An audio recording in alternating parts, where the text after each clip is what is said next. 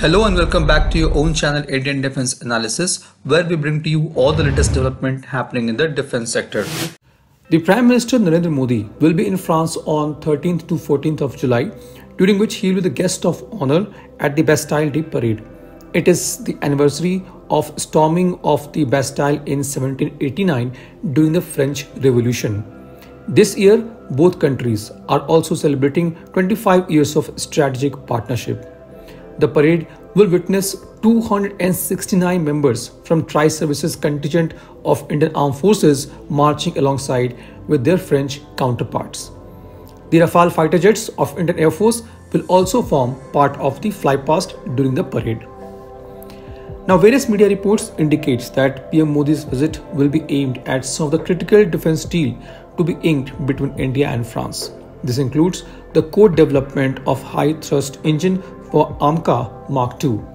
The reports from Hindustan Times states that the French government has given the green signal to aerospace major Safran to jointly design, develop, test and manufacture and finally certify an engine that will power India's TEDBF and AMCA.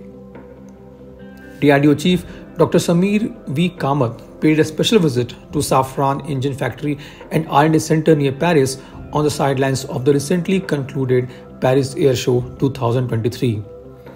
The engine proposal has been under discussion under Defense Minister and NSA led strategic dialogue with France. The French offer includes a completely new engine, new materials, new architecture, stealth compliance with full supply chains and ancillary manufacturing based in India. Snecma has offered engine with stealth characteristics which will feature very low IR signature and near zero RCS turbine blades. The offer also includes Safran setting up a center of excellence in gas turbine technology in India with full design and metallurgical precision software tools. As per the reports from Times of India, the government of India is likely to sign a deal for the purchase of naval version of Rafale fighter jets or Rafale M from France, for which the final decision is likely in the Defense Acquisition Council meeting before PM Narendra Modi leaves for France next week. The multi-billion dollar deal for 24 to 30 Rafale Marine jets is likely to be announced during the two-day visit. The Navy has expressed its preference for the French Rafale over FA-18 Super Hornet. The fighter jet is likely to be planned via government-to-government deal instead of open tender route to fast-track the procurement process.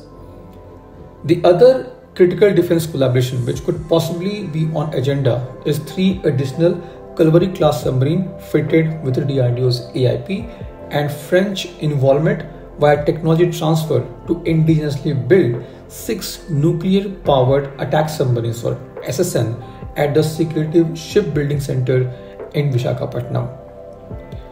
The French Naval Group has already signed a memorandum of understanding with MDL in January 2023 to certify DRDO's AIP design for integration into Kalvari class submarines.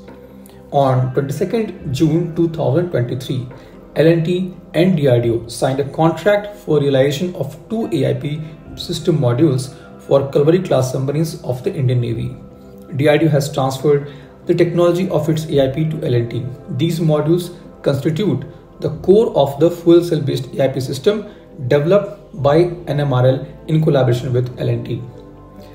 The French offer to India for SSN is similar to a deal it had offered to Brazil.